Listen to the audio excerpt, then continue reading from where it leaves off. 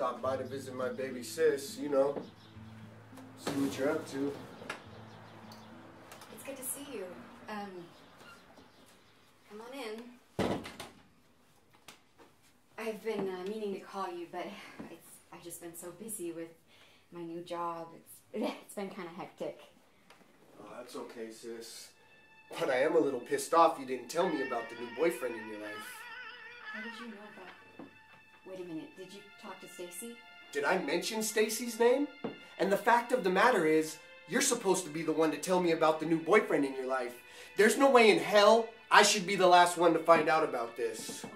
Oh, okay. Thomas, I'm sorry. I just let me go put on some clothes and, and we can talk about it. Okay? Yeah, okay.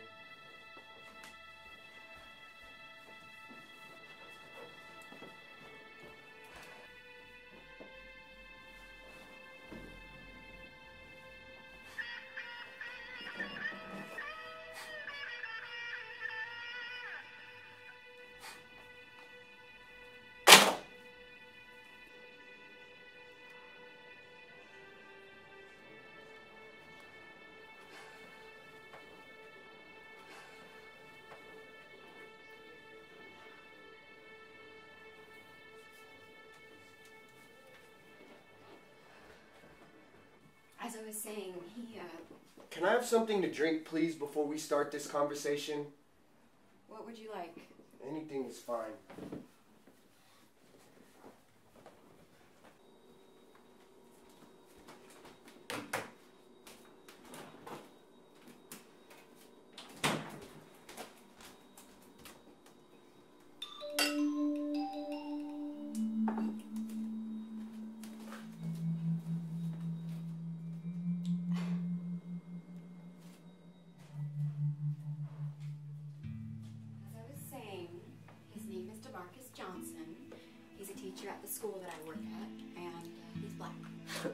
Oh, so he's the guy in the pictures, huh?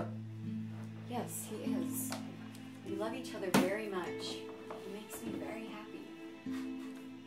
Yeah. Let's hope he feels the same way that you do. Thomas, I didn't tell you about this because I knew this would be your reaction. You need to get over the fact that I'm not a little girl anymore, and I don't need your protection every second. I can take care of myself. Is it because he's black? I mean, seriously, what's the problem? Now, you know I don't have a problem with black people, so don't even go there.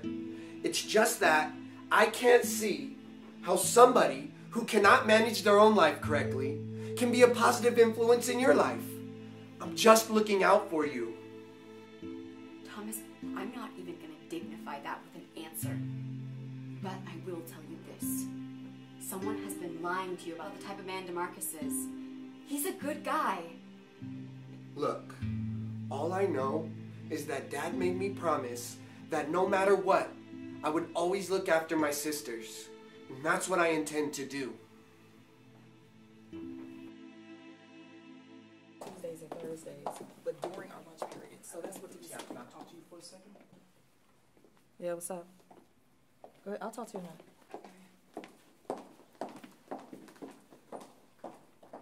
So the other night, Cynthia mentioned something about you and her having a little talk. But she never finished telling me about it. So. So you want to know if it was about you? Mm, yeah. Marcus, all I did was tell that girl something I wish somebody had warned me about before I start messing with you. Yeah. And what's that, Tiana? When it's all said and done and the romance is gone, you toss your women away like garbage. And you know it's true because it's exactly what you did to me. Okay, see, first of all, you lying. Because that's not what happened.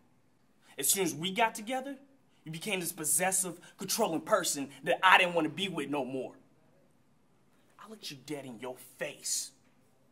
And I told you it was over. Then you went on a rampage and tore up my house. Look, Tiana, it is what it is. So you flaunt this white girl all up in my face and I'm not supposed to say anything about it? Please. You lucky I didn't tell her about your crazy ass brother and what he's gonna say when he finds out you're dating. hey, look, look, look. my brother don't have no say so who I date, all right? Besides, he already knows about her. Does he know she's white? Then none of your damn business, Tiana. I tell Lanny what I tell him. See, that's what I'm talking about. You ain't even man enough to be real about who you sleeping with, Marcus. You need to grow up. How you gonna call this girl your woman and be too scared to tell your own flesh and blood about her? Last time I checked, that's my problem, not yours. That's why I can't stand messy ass females. Messy?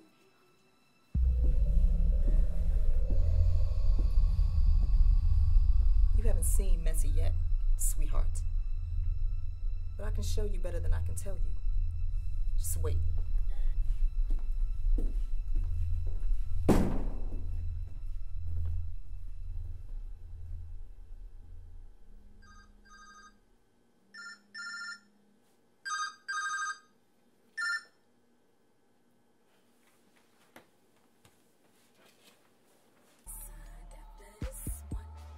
Hello? You must be over there with your girlfriend, because you took how long to answer the phone. Yeah, whatever. Look, why you keep calling me about every single penny my son needs? If you aren't getting child support payments, hell, I barely got enough to live off of. Marcus, you a damn square. Your ass always gonna have a job. And as long as you do, you paying for everything my baby want. So shut that bullshit up. What do you do? Look, I buy him birthday presents, alright? I send him Christmas presents. And you still give me a hard time about him coming out here to see me. What you fail to realize is, just because you my baby mom, don't give you the right to dip your hands in my pockets. Now you must be crazy. Must be crazy. Whatever, Marcus. You over there huffing and puffing trying to sound all hard like your brother. But the problem is, you're not Orlandis Johnson. Your name is Demarcus Johnson. So you know what that means? What? You the nigga picking up the check. Hello? Look quick.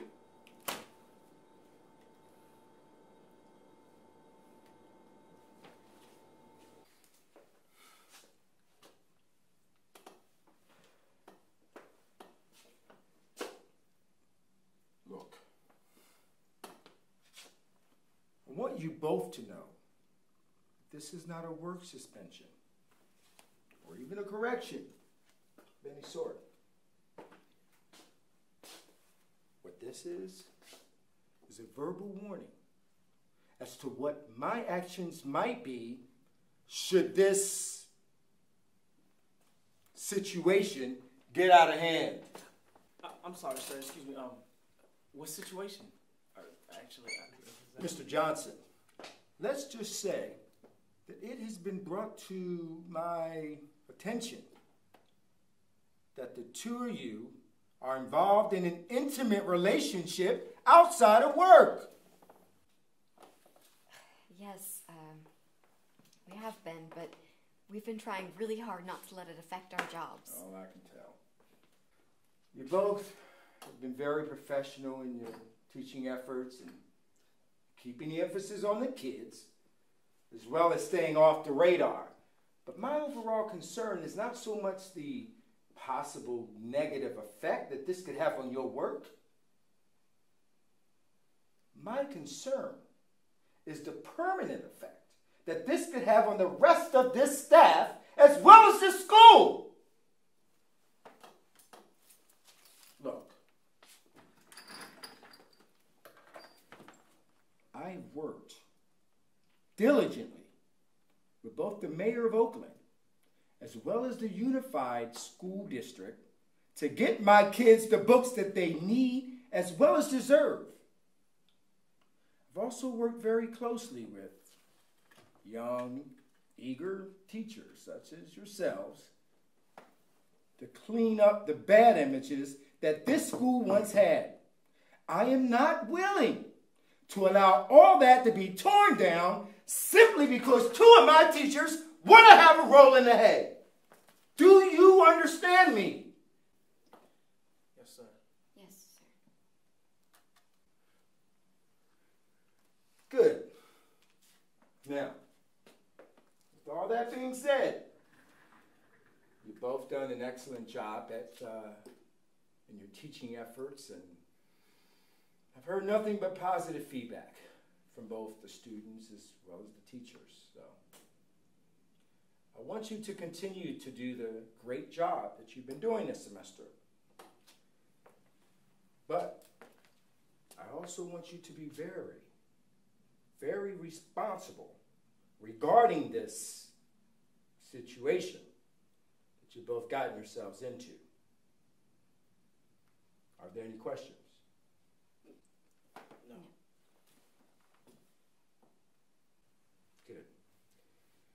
I'll let you get back to your lunch break.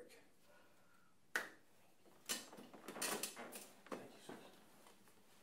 you, Mr. Johnson. Seven